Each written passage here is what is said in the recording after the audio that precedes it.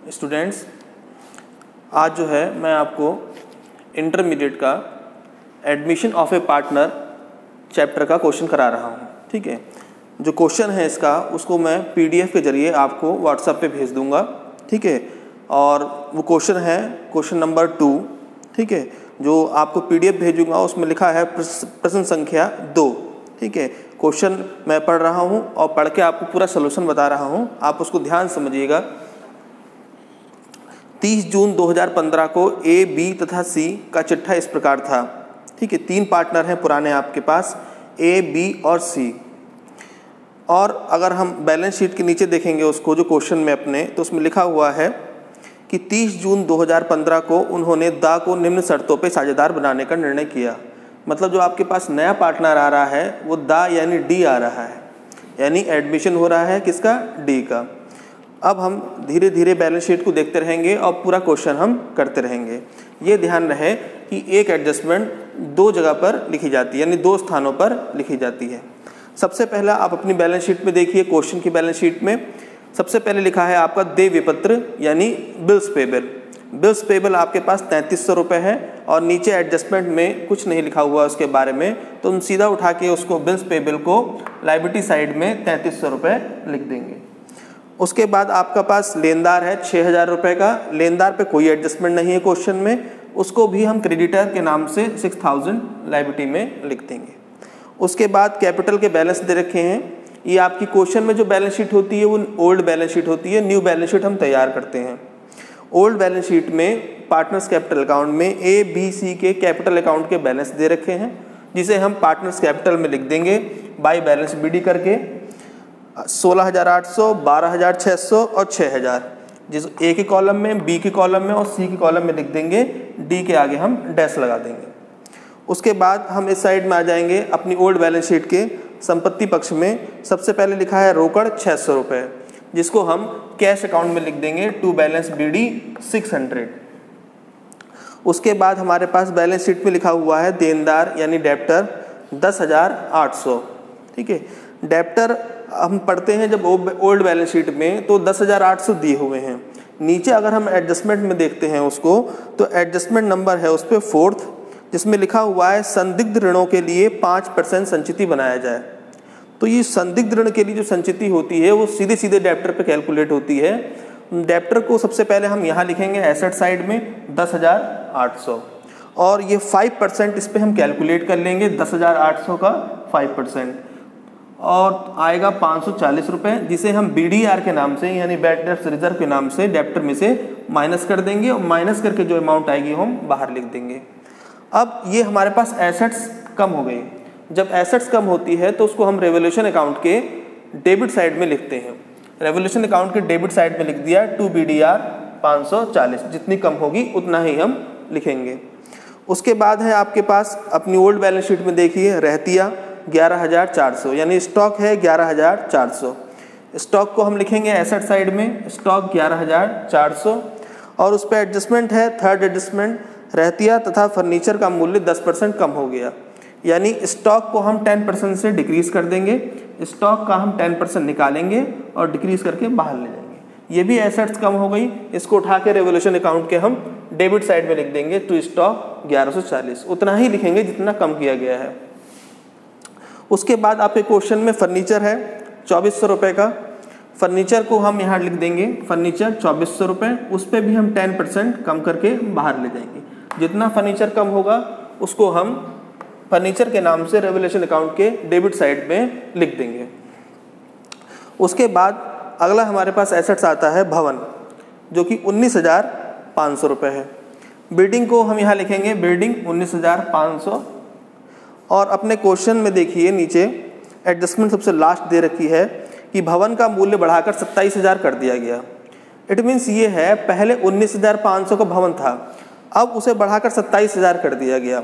तो साढ़े सात हज़ार रुपये आपके बढ़े। यहाँ पर एसेट्स बढ़ गई। तो हम इंक्रीज करके इसको बाहर ले जाए। एसेट्स बढ़ जाने के बाद वो रेवोल्यूशन अकाउंट के बाई साइड में, यानी क्रेडिट साइड में आती है। बाई बिल्डिंग सात हज़ार पाँच सौ। उसके बाद हमने अपनी ओल्ड बैलेंस शीट के सारे आइटम कर लिए एसेट्स के सारे आइटम कर लिए। उसके बाद हम जहाँ नीचे एडजस्टमेंट है क्वेश्चन में, वहाँ पर आ जाते हैं। उसमें लिखा हुआ है ए बी सी लाभानी समान अनुपात में बांटते हैं।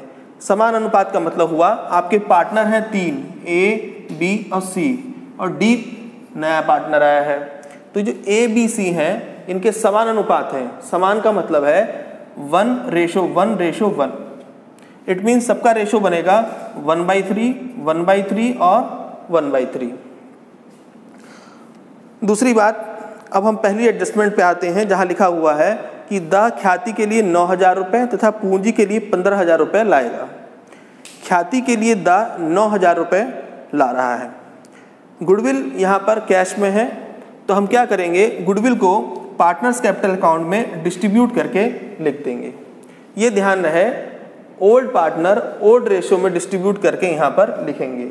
ओल्ड पार्टनर है ए बी और सी और ओल्ड रेशो है one by three, one by three, one by three. तो इस रेशो में हम जो ये नाइन थाउज़ेंड ही गुडविल दे रखी है, उसको डिस्ट्रीब्यूट कर देंगे, जो तीन तीन हज़ार रुपये ए बी सी में लिख दिए जाएँगे। ठीक है? उसके बाद इसी गुडविल को उठा के, चूँकि ये कैश में थी, हम कैश अकाउंट में लिख देंगे टू गुडविल नौ हज़ार रुपये पंद्रह हज़ार रुपये की जो पूंजी लाया था तो हम बाई कैश के नाम से डी में पंद्रह हज़ार रुपये लिख देंगे, क्योंकि कैपिटल लाया है कौन? डी। तो हम डी के कॉलम में पंद्रह हज़ार रुपये लिख देंगे बाई कैश करके, और इसको उठा के कैश अकाउंट में हम लिख देंगे टू डीज कैपिटल पंद्रह हज़ार रुपये सेकेंड एडजस्टमेंट हमारे पास है, ख्याति की आधी राशि पुराने साझेदारों द्वारा निकाल ली जाएगी। आधी राशि, ख्याति हमारे पास क्वेश्चन में नौ हज़ार रुपये है और उसका आधा हुआ पैंतालीस सौ रुपये यानी चार हज़ार पाँच सौ रुपये उसको पुराने साझेदार निकाल लेंगे ख्याति हमेशा पार्टनर्स कैपिटल अकाउंट में डेबिट साइड में निकाली जाती है, कैश के नाम से। नाइन थाउज़ेंड की कैप गुडविल थी, जिसका हाफ़, यानी फोर्टी फाइव हंड्रेड विड्रॉ कर रहे हैं, यानी निकाल रहे हैं ओल्ड पार्टनर। यानी ये forty five hundred old partner के रेशियो में डिस्ट्रीब्यूट हो जाएगी, one by three, one by three, one by three. तो ये डिस्ट्रीब्यूट होने के बाद पंद्रह सौ पंद्रह सौ पंद्रह सौ ए बी सी में लिख दी जाएगी। और चूँकि कैश में विड्रॉ की जाती है गुडविल इसीलिए इसको उठा के हम कैश अकाउंट में लिख देंगे बाई ए बी और सी पंद्रह पंद्रह सौ रुपये उसके बाद एडजस्टमेंट जब भी हम क्वेश्चन करते हैं तो क्वेश्चन पूरा करने के बाद एक बार सारी एडजस्टमेंट दोबारा चेक कर लेते हैं कि कोई एडजस्टमेंट हमारी रह तो नहीं गई है।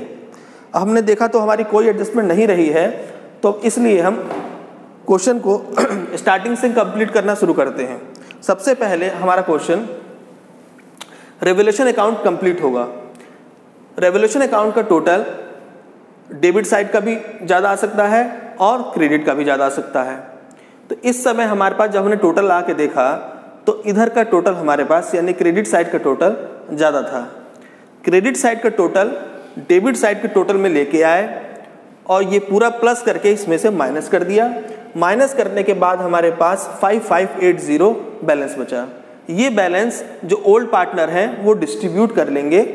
मतलब 5580 को ओल्ड पार्टनर ओल्ड रेशो में डिस्ट्रीब्यूट करने के बाद यहाँ लिख लेंगे। 1860 1860 उसके बाद इस प्रॉफिट को जो डिस्ट्रीब्यूट हुआ है, उसको सीधे सीधे उठा के हम पार्टनर्स कैपिटल अकाउंट के बाई साइड में बाई रेवोल्यूशन अकाउंट के नाम से शो कर देते हैं। ए बी सी में ये अमाउंट लिख दी जाएगी। उसके बाद हम पार्टनर्स कैपिटल अकाउंट को पूरा करते हैं और एक एक करके कॉलम का टोटल लगाएँगे। सबसे पहले हमने ए का टोटल लगाया two one six six zero debit side में लेके आए इस टोटल को और केवल उस समय एक अमाउंट पड़ी थी, पंद्रह सौ रुपये इसमें से माइनस कर लिया। माइनस करने के बाद हमारे पास two zero one six zero balance बचा। ठीक इसी तरीके से बी सी और डी का लगाएँगे। टोटल लेके आएँगे इधर। ये माइनस कर लेंगे। जो माइनस करके आया, ये बचा। ये हमारे पास न्यू फर्म की कैपिटल होती है। क्यों? क्योंकि ओल्ड फर्म की कैपिटल तो यहाँ ट्रांसफ़र कर दी गई। न्यू फर्म की कैपिटल हमारी ही आई। इन चारों को लेकर हमें अपनी न्यू बैलेंस शीट में कैपिटल अकाउंट के नाम से चारों की कैपिटल लिख देंगे। ए बी सी डी के नाम से। और उसका टोटल लगाकर हम बाहर ले जाएँगे। उसके बाद हम कैश अकाउंट को पूरा करेंगे। इसका डेबिट साइड का टोटल ज़्यादा है, चौबीस हज़ार छः सौ। क्रेडिट में लेकर आएँगे। और क्रेडिट साइड का टोटल जो तुम्हारे पास ये पंद्रह सौ रुपये पंद्रह सौ रुपये तीन जगह लिखे हैं, पैंतालीस सौ रुपये चौबीस छः सौ में से माइनस कर देंगे। माइनस करके आएगा बीस हज़ार एक सौ रुपये ये न्यू फर्म की कैश है। अब इसको उठा के हम अपनी न्यू बैलेंस शीट में डाल देंगे। कैश अकाउंट बीस हज़ार एक सौ। उसके बाद हमें कुछ नहीं करना है। दोनों साइड का टोटल लगा लेना है। दोनों साइड के टोटल इक्वल आना चाहिए। अगर टोटल में फ़र्क है तो बैलेंस शीट गलत है। हो सकता है रेवोल्यूशन में गलती हो जाए। पार्टनर्स कैपिटल अकाउंट या कैश अकाउंट में। दोनों साइड का टोटल लगा देंगे। इक्वल आ गया। क्वेश्चन हमारा ठीक हो गया। ये ध्यान है कि अगर रेवोल्यूशन का प्रॉफिट या लॉस जो भी आता है, अगर गलत निकलता है, क्योंकि वो पार्टनर्स कैपिटल अकाउंट में ट्रांसफ़र होता है, इसलिए ये भी गलत हो जाएगा और फिर कैश अकाउंट पे भी इफ़ेक्ट पड़ सकता है और बैलेंस शीट का आंसर नहीं आएगा। कोई प्रॉब्लम होगी तो आप पूछ सकते हैं उस चीज़ को। Thank you.